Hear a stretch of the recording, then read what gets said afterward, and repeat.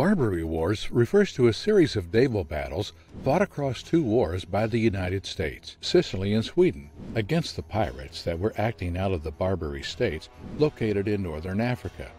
Operating mainly after Tunis, Tripoli, and Algiers, pirates had been capturing ships and raiding cities across the Mediterranean since the mid 1500s. And though the rate of piracy in the Mediterranean Sea had declined by the 19th century, it was at that time that the newly established United States was forced to get involved. Also known as the Barbary Corsairs, the Muslim pirates and privateers had been known to attack British merchant and cargo ships all along the coast of northern Africa ever since the 1600s. Any ship that was captured would see its crew being held captive to either be sold for ransom or to become enslaved. And sadly, it wasn't long before the British had become all too familiar with receiving news that their ships and people had been taken over or destroyed. The piracy didn't cease there, though, and as time went on, any ship that traveled the waters surrounding the Mediterranean was at risk. And during the American Revolutionary War, the pirates got their first taste of American ship. Throughout the 1700s, once the pirates realized that the American ships were no longer being protected by the British Navy, the pirates began attacking and seizing American ships. And since the U.S. had decided to disband its Continental Navy, it had no military force at sea to protect its ships.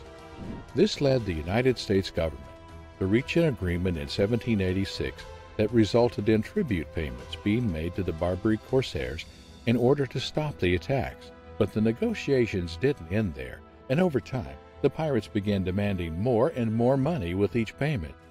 Finally, on March 20, 1794, George Washington beckoned Congress to vote and authorized the U.S. military to build a fleet consisting of six heavy frigates in order to establish United States Navy and put an end to the attacks.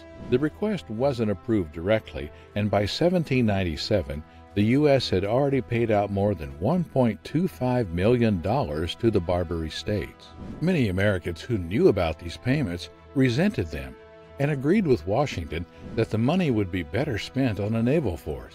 Thomas Jefferson would use this to help his case in the presidential election of 1800. Many historians believe that part of what helped Jefferson beat John Adams in the election was that he claimed to pay such tribute to foreign cruisers was humiliating. And in 1801, just a year after Thomas Jefferson became president, First Barbary War began. Also referred to as the Tripolitan War, it also started when Jefferson refused to pay tribute to the pirates and instead decided to send a naval fleet. The war began on May 13, 1801, after President Jefferson had sent battleships containing gifts that were intended to keep the peace between the U.S. and Tripoli, not knowing that Yusuf Karamanli, the Pasha of Tripolitania, had declared war on the U.S. These ships were under the command of Commodore Richard Dale, and just to be safe, Jefferson had given him permission to protect his ships in the case of an attack. And it's a good thing he did this, because by August 1 of that year, the First Barbary War was officially underway. In the beginning, the American ships were largely successful in dealing with the piracy that was occurring along the North African coast. That was until 1803, when the USS Philadelphia and its crew hit a string of bad luck. As the ship was sailing off the coast of Tripoli, creating a blockade, it ended up running aground on a reef that hadn't been charted on any of the maps that were in use. The captain of the ship, Captain William Bainbridge, tried everything he could to refloat the vessel by removing any objects that could be weighing her down, including the Philadelphia's artillery. Captain Bainbridge's plan didn't yield any results, though, and eventually the ship, along with its crew, was captured and enslaved. And though the idea of losing a ship as powerful as the Philadelphia hurt the United States, the idea of the enemy using it against them stung even more. Since there was no chance of the U.S. reclaiming the ship, they saw that their only option would be to destroy it so that it couldn't be used by the Barbary corsairs. A young Navy lieutenant named Stephen Decatur was put in charge of leading a small group made up of volunteers into Tripoli harbor to destroy the vessel. They snuck in under the cover of darkness and used a Tripoli fishing vessel that they had captured to covertly make their way to the Philadelphia on the evening of February 16, 1804.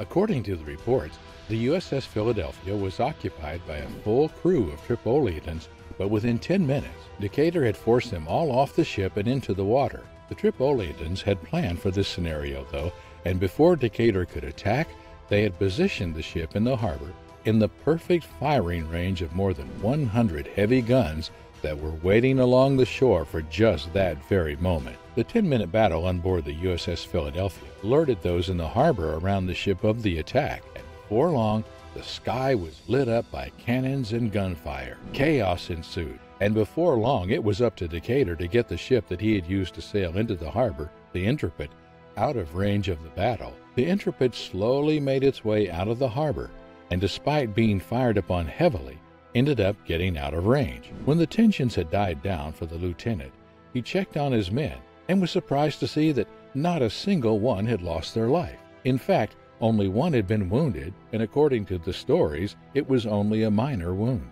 Stephen Decatur quickly rose to military fame, both in the U.S. and around the rest of the world, and he ended up being promoted to captain. On July 14, Edward Preble led a second attack on Tripoli, which would end up being known as the Second Battle of Tripoli Harbor with the help of Master Commandant Richard Somers, who was now commanding the Intrepid. This time, however, the Intrepid wouldn't make it out of the battle, sadly. It's not reported exactly what happened to the ship. However, many historians believe that the most likely scenario is that the ship was destroyed by enemy ships. Thomas Jefferson then persuaded Congress to send more ships to the Mediterranean and Samuel Barron was then placed in charge of an 11 ship fleet used to create a large blockade on Tripoli.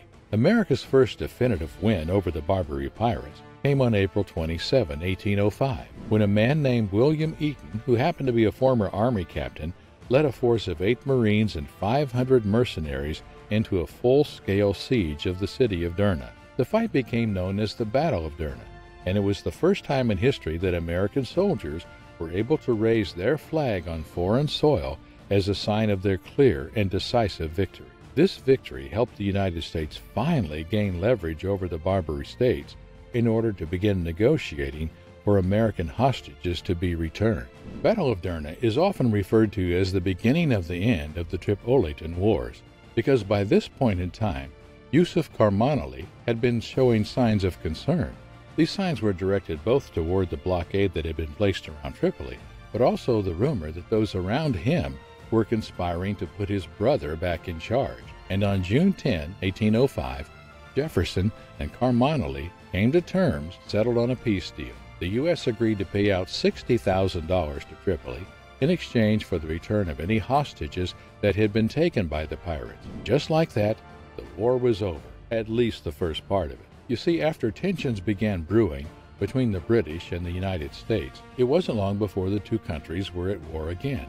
Known as the War of 1812, this battle didn't have much to do with the Barbary Wars, except for the fact that it directly led to the second part of it. During the War of 1812, it was discovered that the British Navy had somehow contacted the pirates in Algiers and requested that they begin attacking American ships again.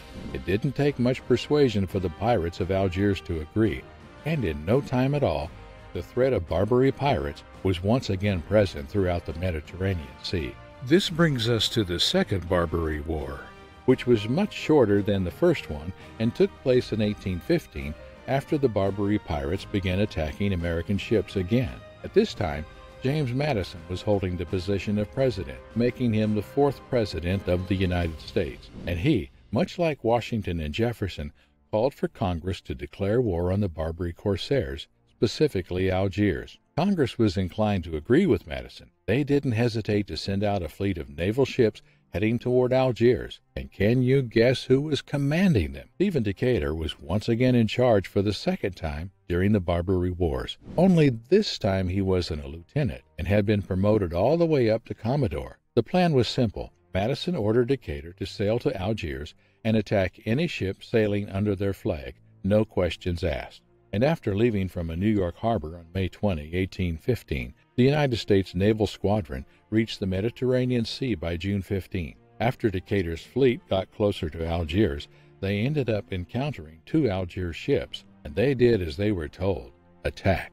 The U.S. fleet quickly overcame the two Algerine ships and managed to capture their crews. And after killing their commanders, it was time for Decatur to negotiate and shut down all pirate attacks on U.S. ships in the Mediterranean. Later that month, Decatur arrived in Algiers along with the two ships his fleet had captured, and on July 3, 1815, the ruler of Algiers agreed to sign a new treaty. The treaty called for Decatur to return both captured ships along with the 500 crew members that he had imprisoned, and in return, the Algerians would return all of their American prisoners, along with paying a sum of $10,000 for all the supplies they had stolen in the past. The treaty ensured that American ships would have safe passage across the Mediterranean without having to risk running into or being attacked by pirates. Just to be safe, Decatur took his fleet from Algiers and went directly back to Tunis as well as Tripoli to make sure they too understood the terms of the agreement and that they weren't planning on doing anything that would go against it.